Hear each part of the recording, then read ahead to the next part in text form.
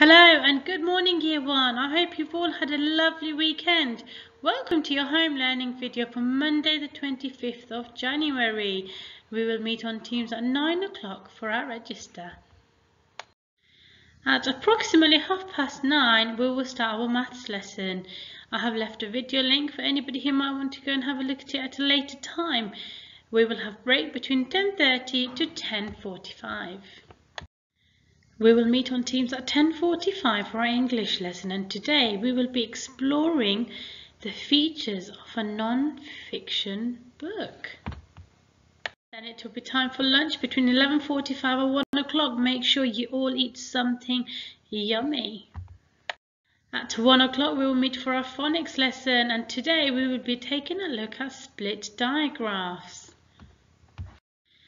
At 1.30 it will be time for our whole school assembly.